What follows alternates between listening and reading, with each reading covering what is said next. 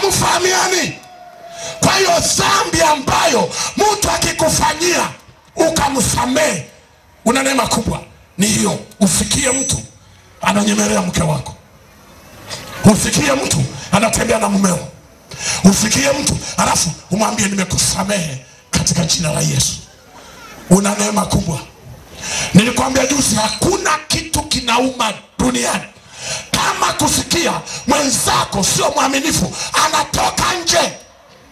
Wakati wewe umejinyima mambo mengi kuna wengi waliokutongoza wenye fedha ulikataa. Wako wengi walitaka uwahonge uwape mwili wako wakupe kazi ulikataa. Alafu yeye unasikia sio mwaminifu anatoka nje ya ndoa. Hili jambo linauma. Ukimusikia mtu huyu anayetembea na mumeo utamwangaliaje mama au siku hiyo utasahau kama uliwahi kunena kwa lugha. Utasahau kama uko kwenye kikundi cha maombi. Utasahau kama uliwahi kusema nimeokoka. Kuna dhambi mtu akikufanyia panahitaji neema ya mungu. Neema ya mungu isimame.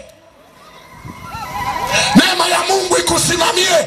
Vinginevyo ni maumivu. Ndio maana watu mlioko hapa wengine mnaniangalia mmesema tumekuja tusikie injili. Sikia sasa hii. Kama sio mwaminifu kwa mkeo.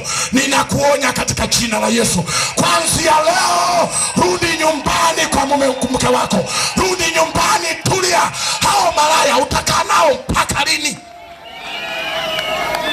Na biblia imeshasema mwanamke malaya ni shimo refu. Hawajawahi kushiba. Watakufirisi. Watakumaliza ndio maana wako watu hapa furawa walikuwa matajiri wa kutupwa. Lakini leo hii wanatembea baisikeli zenye pancha unajiuliza mali zimeenda wapi? Ulipoendekeza ukahaba mpaka leo huna mbele wala nyuma. Unafika maru na raumu oh, wameniroga. Wamekuroga wapi? Nani aliyekuroga? Ulipomkataa mungu ndipo kiburi chako kimeanza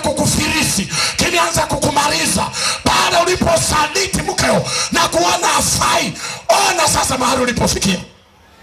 Hebu jiangalie mwenyewe. Kumbuka historia ulikotokea.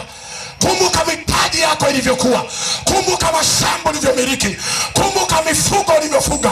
Leo umefika mahali. Umefirisika unatisha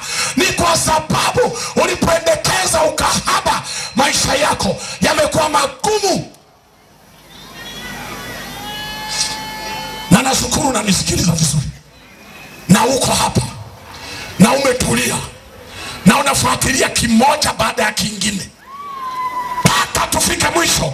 Ninaamini kabisa huu mkutano yawezekana wote waliokoka wanakusindikiza wewe.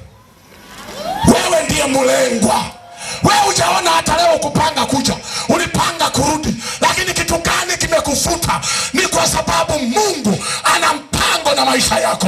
Mungu ame- ameyahurumia maisha yako. Umeteseka yatosha wamelia juu yako. Mungu amesikia kilio chao. Ndio maana amekuleta hapa. Ili tuseme nawe.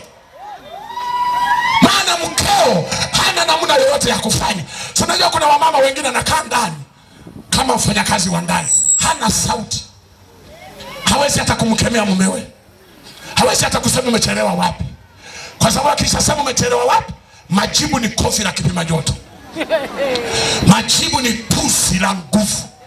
Majibu ni manyanyaso.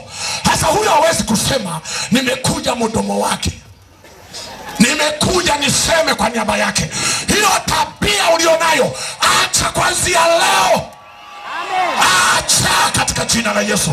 Rudi nyumbani kwako. Unaleta maumivu kwa mwenzako. Nilisema juzi hebu vaa viatu. Na tena bahati mbaya sana watu ambao ni makahaba wana wivu wa kutupwa anahoji mpaka nyanya. Hizi nyanya za elfu moja hizi. Ndio. Hmm. hizi sio za mia mbili hizi. Nani aliyekupa nyingi namna hii? Nani na?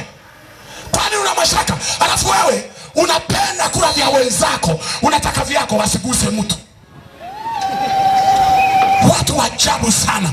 Ndio maana siku moja nilisema kuna maajabu duniani. Hata kwenye nyumba ya mwizi kuna kufuli.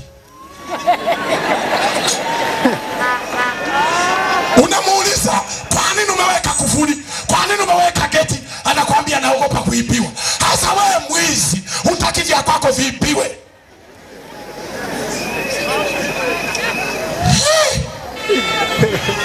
Ndio maana nawaonyaga nyie mabinti mnaoparamia waume za watu, na wewe una mpango wa kuolewa, alafu unaparamia waume za watu, unadangadanga nao. Sasa na wewe uje uwe mpole si leo unaparamia waume za watu, wamekufungulia saruni, wamekununulia simu, wamekufanyia vitu vingi. Wengine unaisha hapa vua wapango, anayekulipia ni mume wa mtu, unajifanya mjanja, na wewe subiri, utaolewa.